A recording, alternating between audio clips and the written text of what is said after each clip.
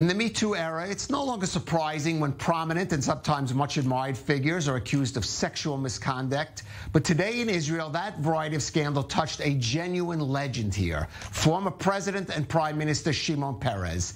And his accuser is also a figure of note.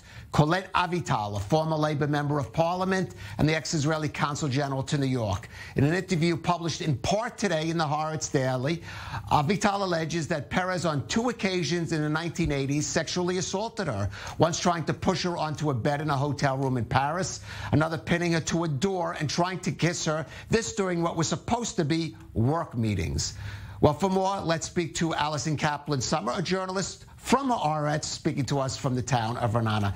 Allison, thanks for joining us. Allison, it should be said at the outset, Shimon Peres' personal life was not in any way ever held up as a sort of model of, uh, of correctness. It was known he sort of led a separate life from his, his, his wife, Sonia, uh, but certainly nothing along these lines. So how seriously do you think this is going to damage his legacy?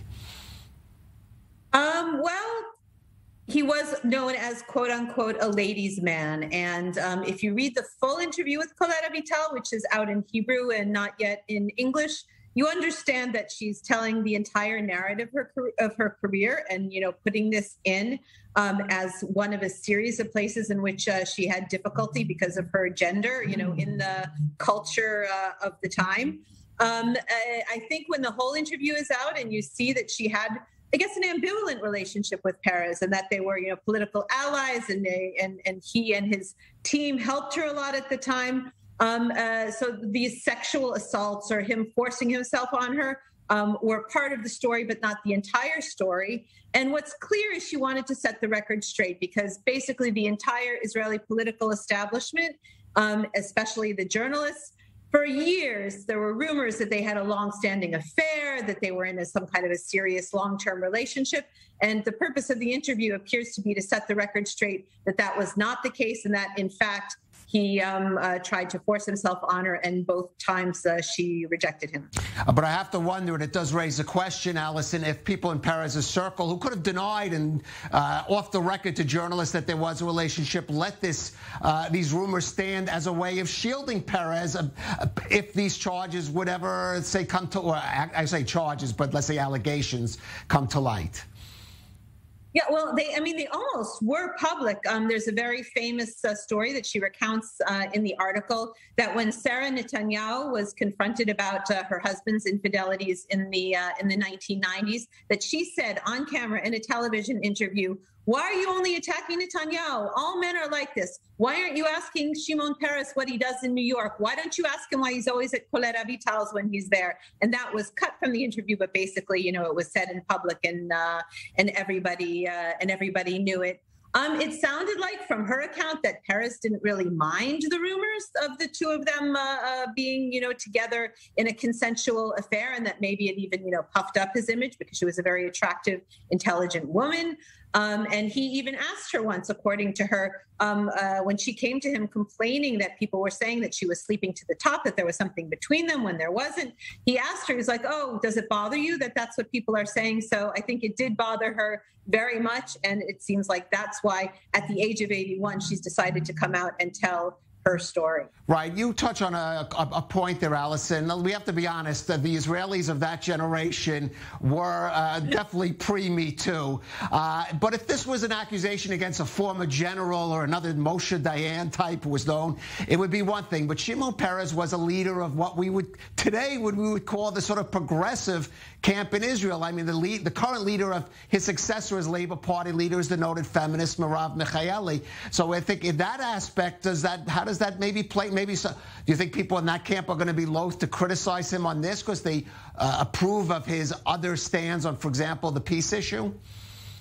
Well, first and foremost, I think all eyes are going to turn to his close, close uh, deputies like Yossi Beilin, like Uri Savir, um, uh, to say something, you know, in reaction to what uh, Colette Avital said, because she named um, Yossi Beilin personally a lot in this interview and said, you know, I told Yossi Beilin that I don't want to be alone in a room with him. So they're going to be looked to to either confirm or deny uh, deny the accounts.